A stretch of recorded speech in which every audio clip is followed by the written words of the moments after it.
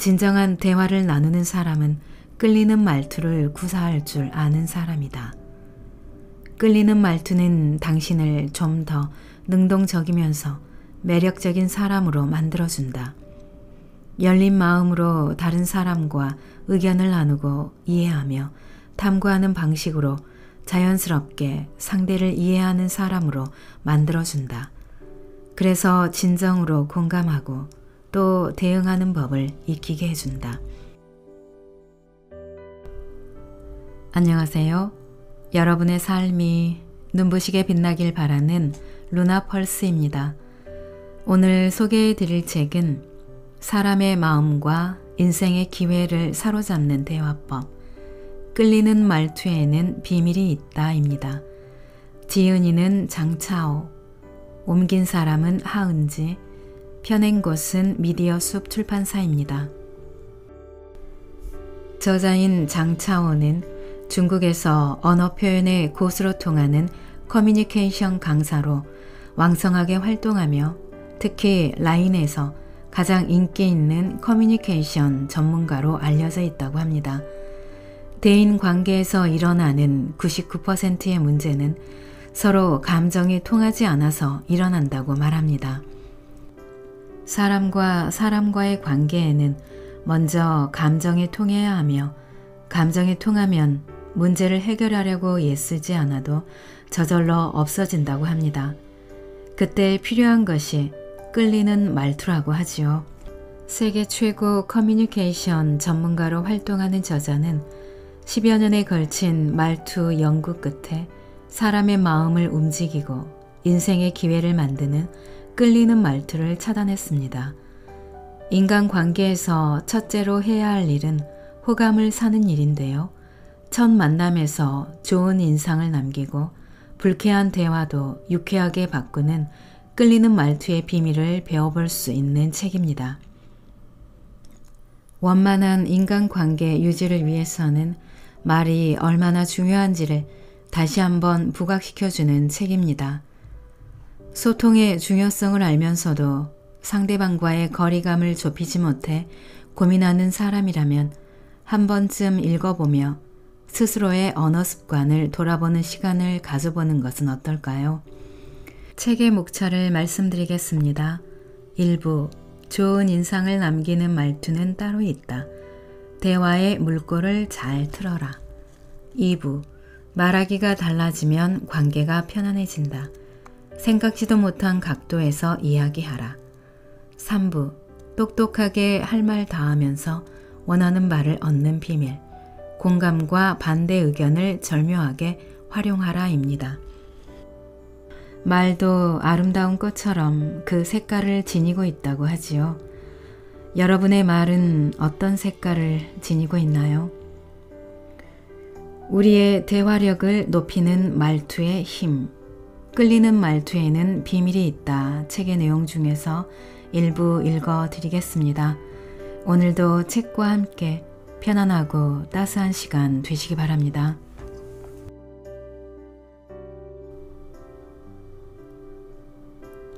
첫 만남에서 좋은 인상을 남기는 법. 과거와 달리 새로운 사람을 사귀고 알아갈 기회는 많아진 반면 상대방에게 좋은 인상을 남기는 사람은 많지 않다.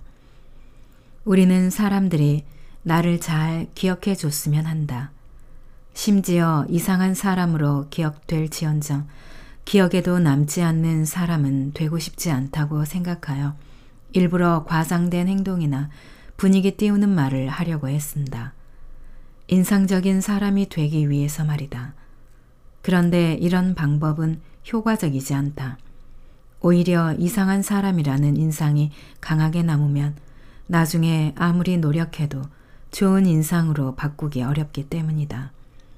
어떻게 해야 사람들에게 좋은 인상을 심어줄 수 있을까? 1. 유머가 있어야 한다. 유머는 자연스럽게 사람들이 당신에게 관심을 갖게 하는 방법이다. 그들이 잘 모르는 재미있는 에피소드나 말을 기억해 두었다가 들려주면 좋은 인상을 남기기 쉽다. 다만 상대가 초면일 경우 리스크가 따른다.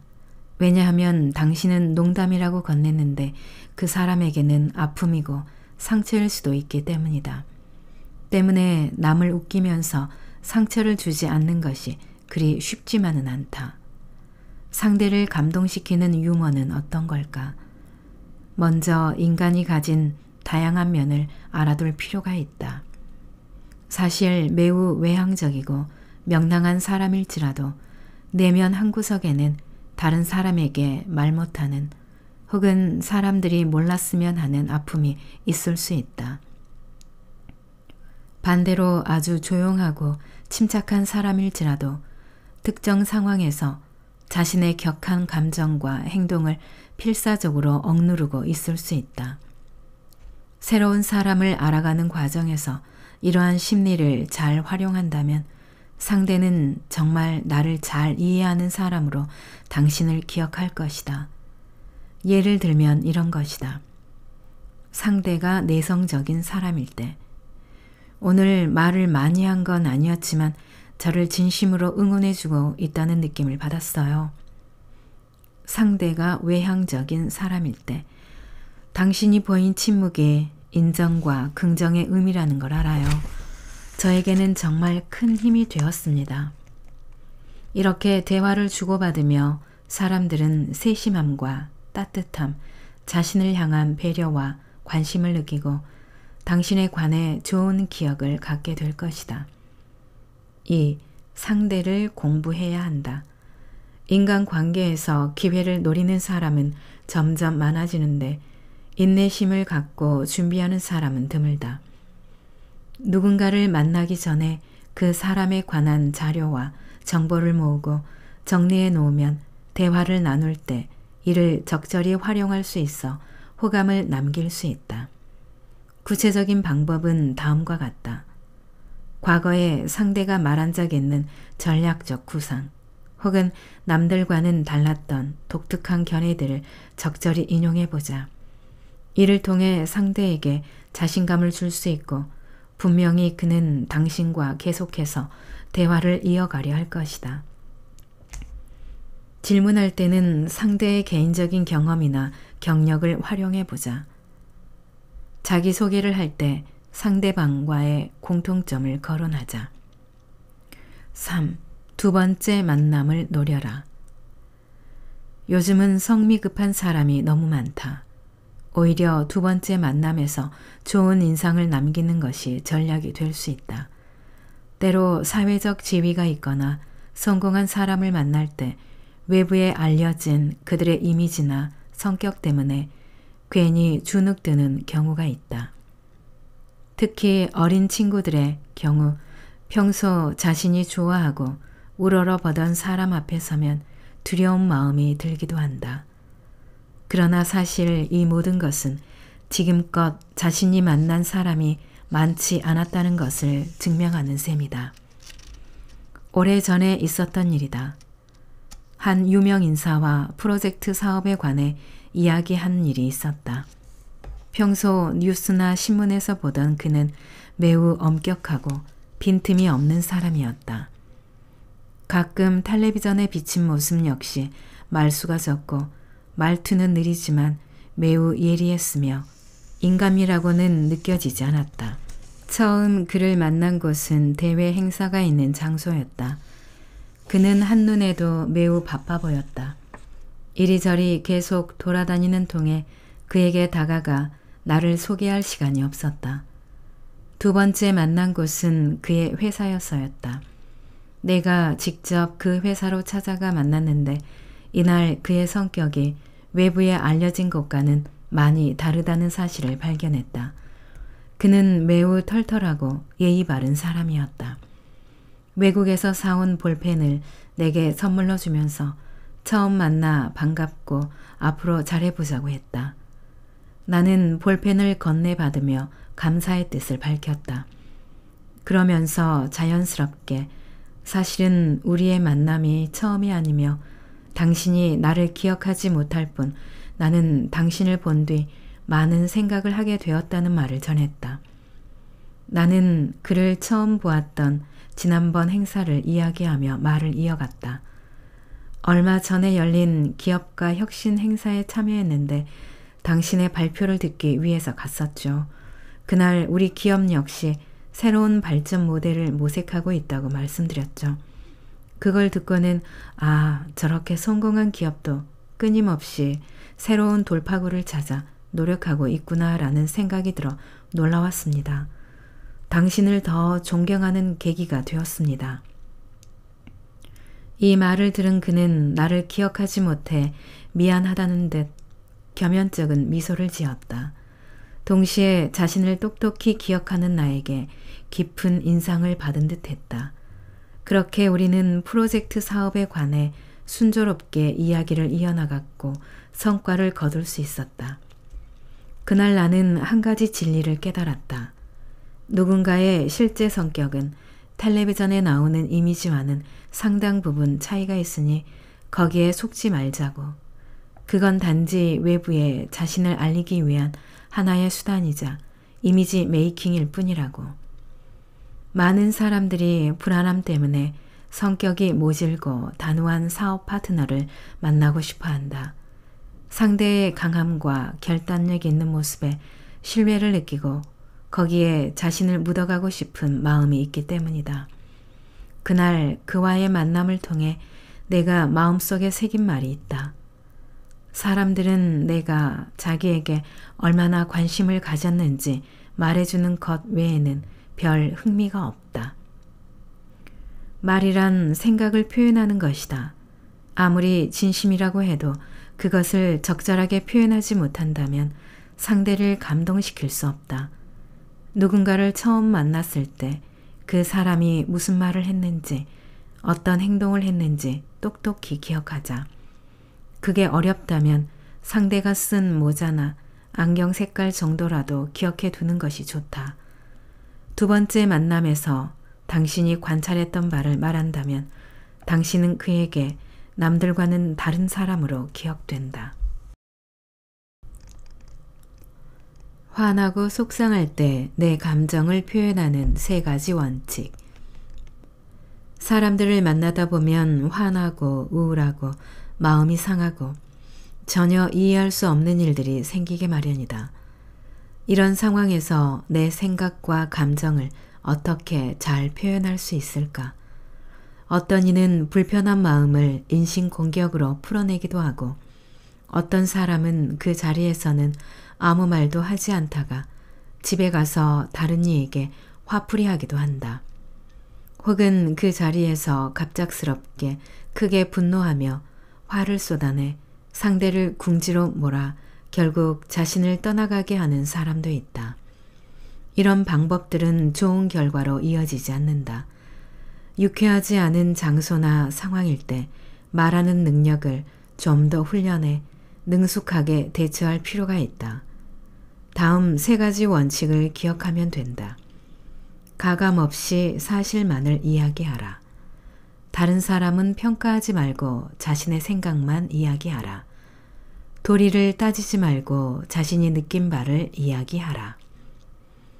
이 세 가지가 쉬워 보여도 잔뜩 화가 올라올 때는 실천하기 쉽지 않다. 그렇다면 왜 이렇게 해야 하는지 아래의 예문을 통해 자세히 알아보자. 먼저 당신이 약속 시간에 늦었을 때 상대가 보일 수 있는 반응에는 어떤 것들이 있을까? 아마 크게 네 가지 반응이 나올 것이다. 1.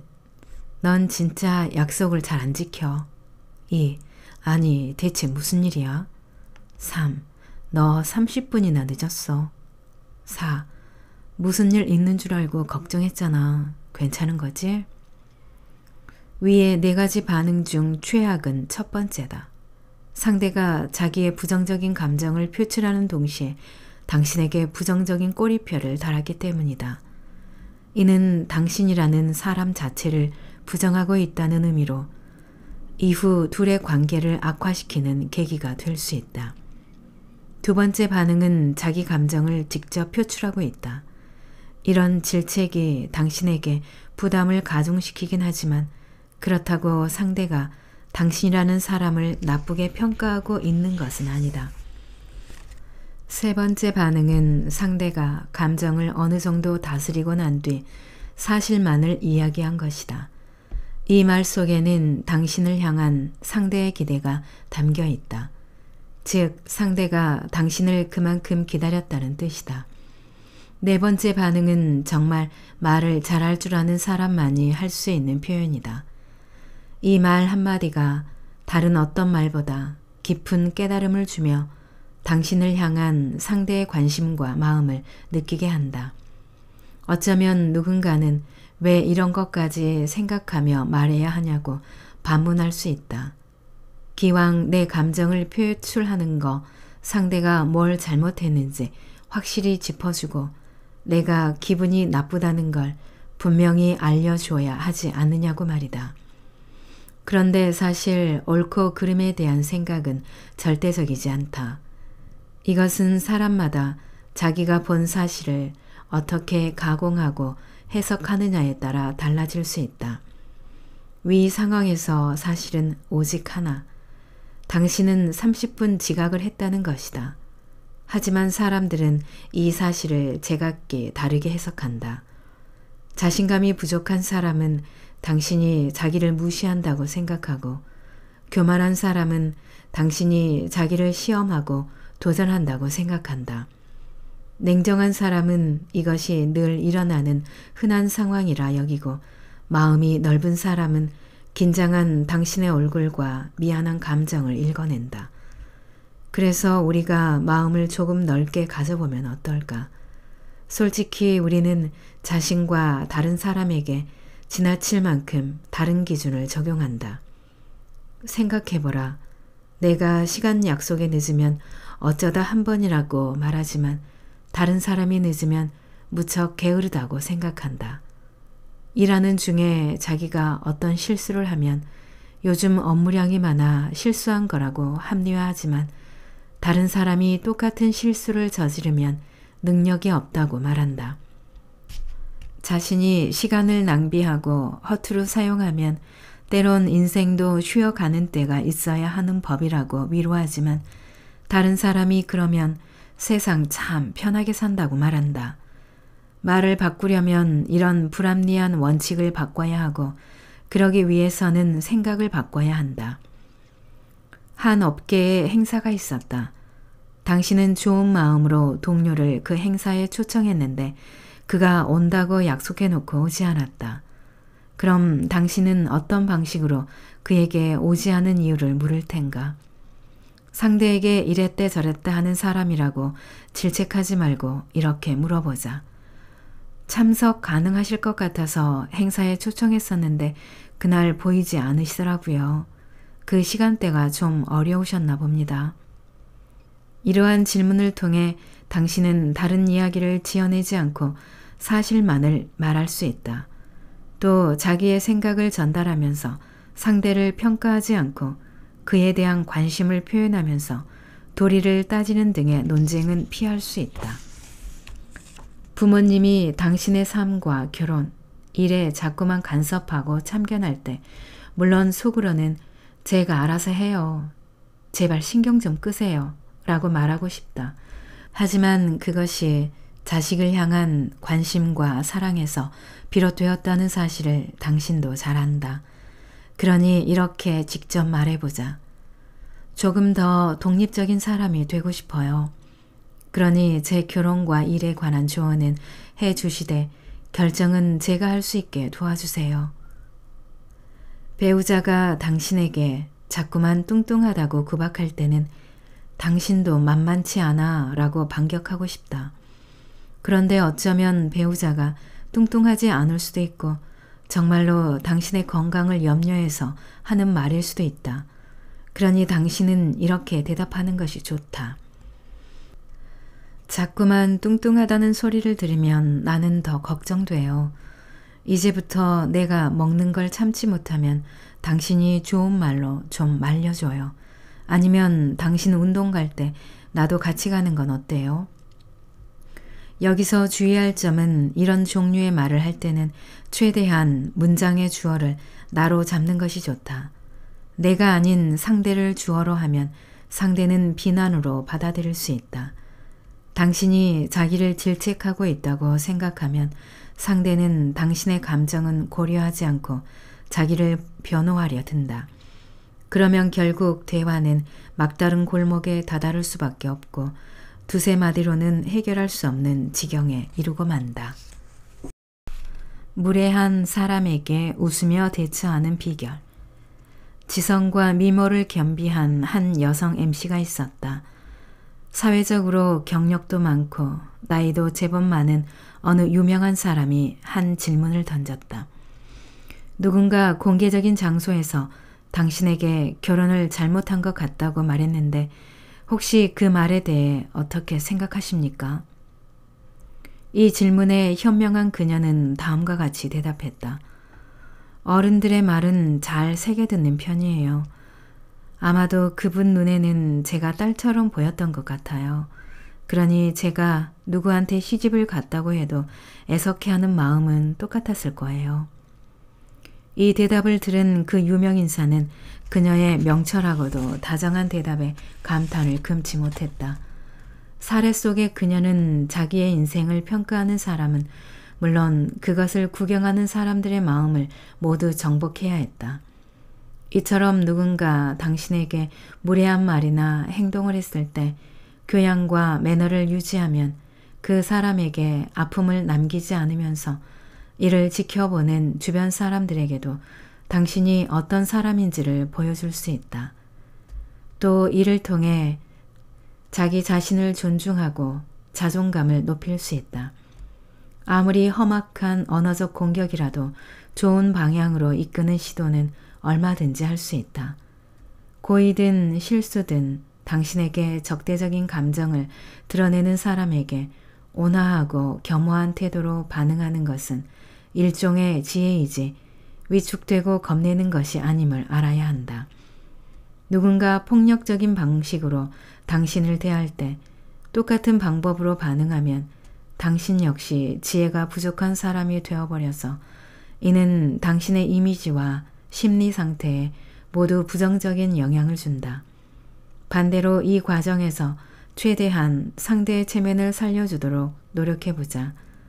예의 바르게 상대를 대하면 시끄러운 여론을 잠재우고 상대를 변화시킬 수 있다. 때로 체면은 사람에게 심장과도 같이 매우 중요하기 때문이다. 정말로 필요한 상황이 아니라면 대화를 나누는 과정에서 핵무기급의 공격으로 상대를 받아칠 필요가 없다. 혹자는 누군가 나를 질타하면 나도 똑같이 그 사람을 질타해야 한다고 말한다. 그래야만 그 싸움을 끝낼 수 있다고 말이다. 물론 이것이 효과적인 방법 중 하나이긴 하다. 하지만 이렇게 했을 때의 단점은 원래 잘 해결할 수 없, 있었던 문제를 더 크게 만들 수 있다는 것이다. 당신이 상대에게 퇴로를 마련해 주지 않으면 당신 역시 물러날 길이 없다는 사실을 명심해야 한다. 어떤 기자가 유명한 환경 운동가를 인터뷰하면서 사람들은 당신이 쇼를 하고 있다고 라고 말했다.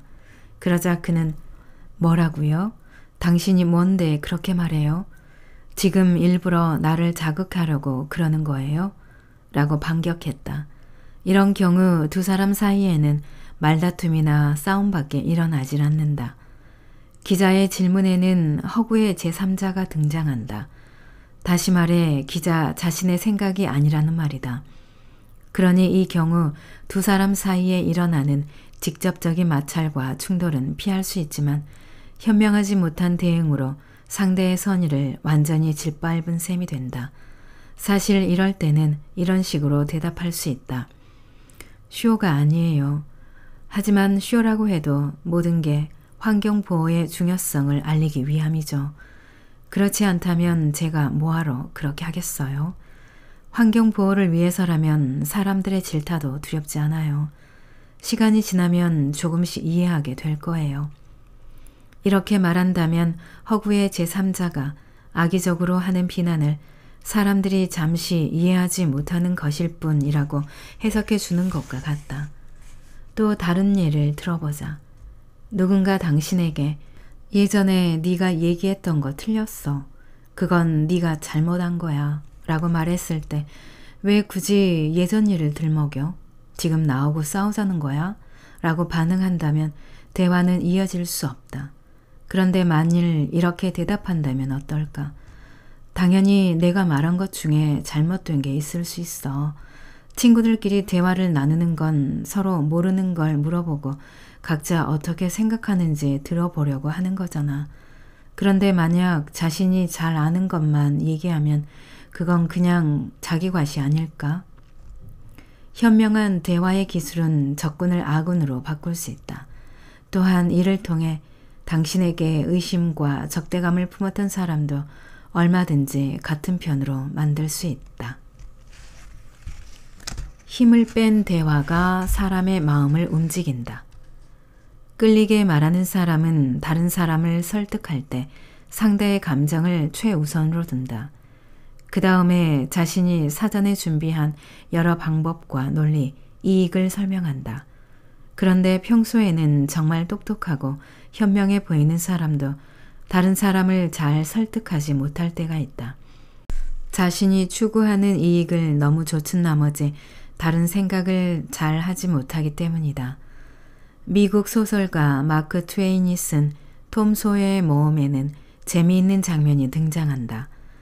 어느 날 개구쟁이 소년 톰이 한 남자아이와 싸우는 걸 본 폴리 이모가 그에게 벌로 울타리에 페인트 칠하는 일을 시킨다. 페인트 칠을 다 마칠 때까지 놀지 못하게 된 톰은 괴롭다. 톰은 친구들의 마음을 자극하기로 생각한다.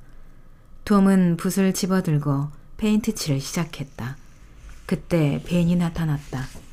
톰은 마을의 모든 남자 아이들 중에서도 벤이 자신을 비웃는 게 제일 싫었다. 과연 벤이 톰을 놀리기 시작했다. 어이 친구, 지금 벌 받는 거지? 재미있니? 하지만 톰은 일부러 냉정하게 대답했다. 응, 재미있어. 남자라고 해서 늘 할 수 있는 일은 아니거든. 내가 장담하는데 천명 중에서도 이 일을 잘할 수 있는 남자아이는 없을 거야. 어쩌면 이천 명 중에도 없을지 모르지. 톰은 페인트 칠에 흠뻑 빠져 있는 것처럼 연기했다. 일부러 붓을 크게 이리저리 휘저으며 울타리를 칠했고 칠한 다음에는 두 걸음 물러나 잘 칠해졌는지 확인했다. 그러고는 잘 안 된 부분이 있으면 다시 그곳에 붓질을 하고 눈을 크게 떴다가 실눈을 떴다가 하면서 재차 확인하는 연기를 했다. 그 모습을 본 벤은 점점 페인트 칠에 재미를 느끼기 시작했다.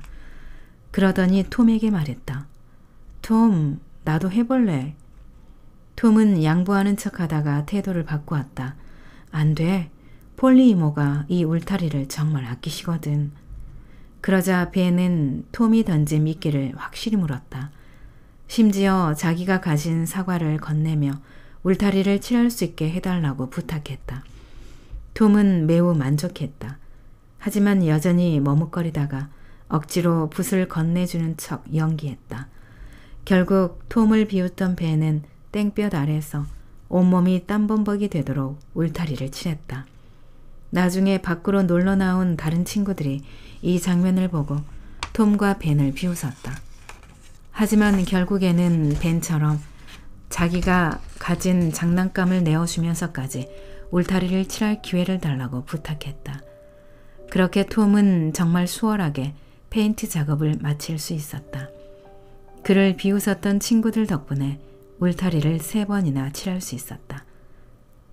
페인트만 더 남아있다면 온 마을의 아이들을 불러 모아 울타리를 칠하게 해주고 장난감을 받을 수 있었을 것이다. 소설 속 이 장면은 많은 것을 느끼게 한다. 천연덕스럽게 말하면서 사람을 설득시키는 방법은 이처럼 일에 대해 너무 무겁게 생각하지 않는 것이다. 오히려 지혜를 발휘해 그저 평온하게 말하는 것이 좋다. 낭독은 여기까지입니다. 여러분의 구독과 좋아요, 댓글은 저에게 큰 힘이 되는 거 아시죠? 오늘도 끝까지 들어주셔서 감사합니다.